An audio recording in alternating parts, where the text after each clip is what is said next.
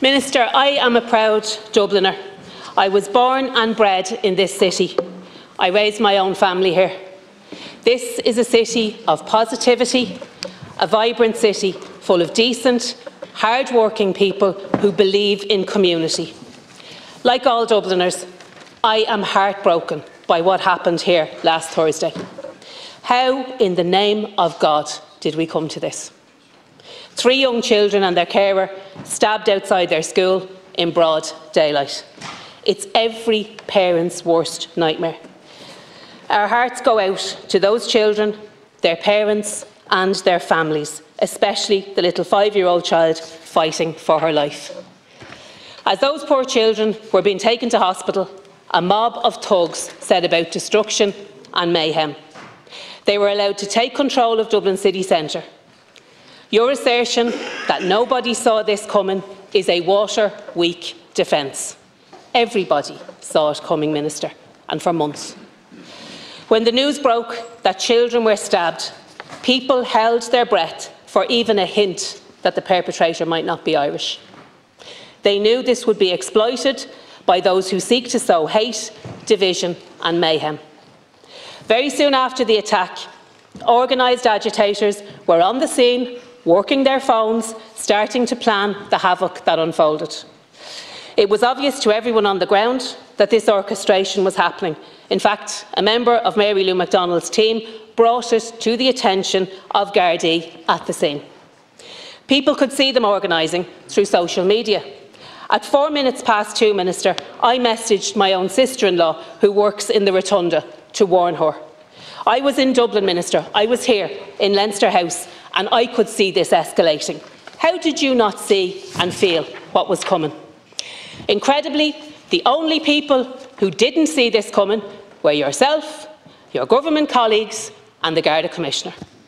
We needed a decisive, early and quick public order policing intervention to contain the trouble and nip it in the bud. That is not what we got. Spokespeople for the GRA say that there was no plan, no central instruction given to Gardaí, that frontline Gardaí showed up to help because of WhatsApp messages sent to each other. This was an unprecedented, catastrophic failure of leadership on your part and on the part of Commissioner Harris. The public were placed in the way of danger. Ordinary workers, emergency responders and frontline Gardaí isolated, exposed and set upon. You lost control of Dublin city centre. It was mob rule. Yet you say the Gardaí had the resources needed to respond quickly and with force. Denial. You refuse to accept that control of the city centre was lost. Delusion. You say that the streets of Dublin city centre are safe. Make-believe. Tell that to the children, parents and staff at Gaelscoil Coláiste de Mhuire. Yesterday, those children came out of school they were greeted with the sight of an intoxicated stranger who had urinated on himself and not a single Garda around.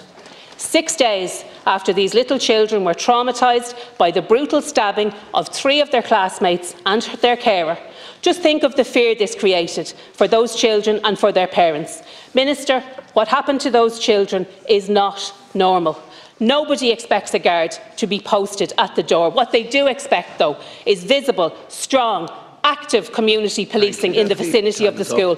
They did not get that. Not a single lesson has been learned, Minister, because you are not listening. In any other walk of life, in any other organisation, the person presiding over such a colossal failure would be sacked. Clearly, you are not the person to restore people's confidence in public safety. Your position is completely untenable. You should resign. Minister, please. Thank you, Ceann Comhairle. Comhairle, can I just say at the outset, my thoughts are still very much with the young girl, with her carer, both of whom are critically ill in hospital. What happened, those children, what happened at school is an unimaginable tragedy. And my thoughts are with them, they're with their family, they're with the school and with the wider community. What we saw unfold after that appalling tragedy was a small group of people who do not represent me, who do not represent the vast majority of people in this country, who took that appalling tragedy and used it to sow division, to sow hatred, to spread fear in this city, and to loot and to riot. They are thugs, and I will say it again those responsible for inciting that hatred and that violence, those responsible for attacking members of An Garda Síochána, for setting buses on fire, they will be held responsible and they will be brought to justice. What we also saw, Ceann Comhairle, was the largest mobilisation of our public order units. What we also saw were over 400 members of An Garda Síochána coming together to respond to these thugs. What we saw was in a very short space of time, these thugs being contained into a small part of our city centre. Yes, what we saw was devastating. Not one of us ever imagined we would witness what we witnessed, but they were contained by members of An Garda Síochána. What we also saw were other teams of An Garda Síochána protecting those who were trapped in their business, protecting those who couldn't leave their work, and we also saw members of An Garda Síochána protecting minority groups and those in international protection centres. We saw the largest response and mobilisation of An Garda Síochána in response to this horrific event. What we also saw were members coming from across the country. I have a report from the Garda Commissioner outlining what happened, outlining how he and his team responded, and as part of their response, yes, it was about sending messages to people as quickly as possible. And as part of that plan, it does include WhatsApp. How do you contact somebody as quickly as possible? But we also saw people literally getting into their cars because they wanted to support their colleagues. The two are not mutually exclusive. We saw the best of An Garda Síochána coming together to protect our city and to protect those in it, and we owe them a debt of gratitude. And of course, there will be lessons learned. An event, a, a catastrophic uh, event of this size, there will be lessons learned, and there should be, and An Garda Síochána and we as a country will be the better for it. When it comes to the school and those children, I have been in contact with the principal numerous times. I have been in contact with An Garda and not just the Commissioner, but local Gardaí in Store Street. And let me reassure colleagues, let me reassure above all the parents of those schools, the staff of that school, every resource that they require will be made available. Gardaí are there, they will be stationed there. It's not for me or you or anyone in this House to decide how policing should operate. But Gardaí are working with and engaging with that school to make sure that whatever need they have, whatever support they require, that it will be made available to them because no matter what we discuss in here, at the end of the day, they are the most important people that matter in all of this.